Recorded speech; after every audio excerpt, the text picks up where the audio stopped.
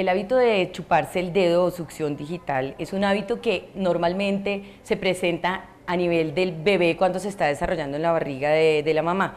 Debe desaparecer más o menos a los dos años eh, espontáneamente.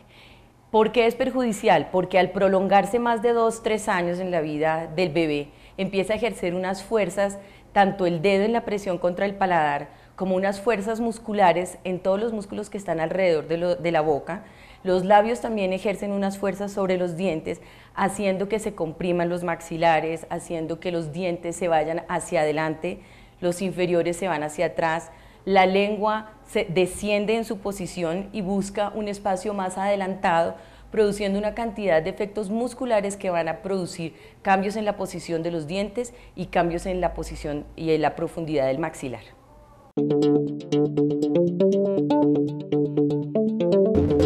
Estos pacientes que generan maloclusiones por hábitos que llevan más de, los tres años,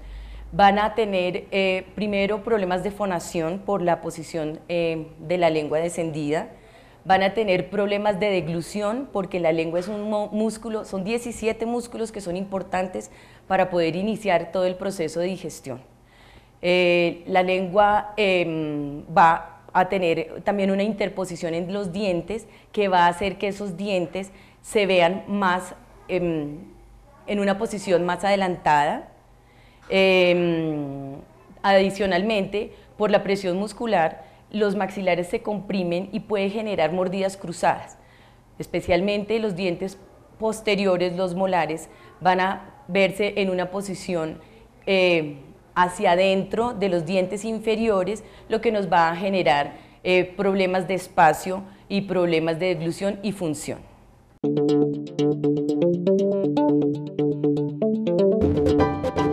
Cuando los padres o los cuidadores de los niños detectan tempranamente un hábito que se prolonga por más de tres horas, si el niño dura chupando el dedo toda la noche, si el niño permanece mucho tiempo durante el día chupándose el dedo, va a producir estas fuerzas musculares que son dañinas.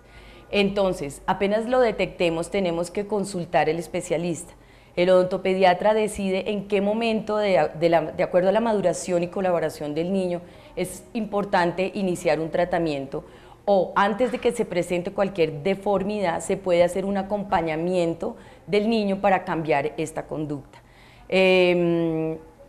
los, em, los, tratamientos pueden variar en la consulta con el especialista, que es el odontopediatra, y es quien va a determinar no solamente el uso de aparatos, sino la interconsulta con otros especialistas como los fonoaudiólogos, que nos van a ayudar a hacer una cantidad de reentrenamientos musculares de los labios, de la lengua, para que el paciente aprenda a deglutir, aprenda a hablar, a desarrollar correctamente sus fonemas eh, y adicionalmente pues que podamos eh, utilizar los aparatos de una manera adecuada y podamos corregir tanto el hábito como las deformidades que se han presentado.